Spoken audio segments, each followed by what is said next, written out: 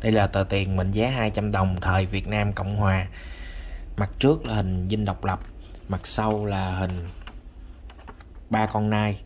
Và tờ tiền cũng có in chìm hình của một người phụ nữ nha các bạn.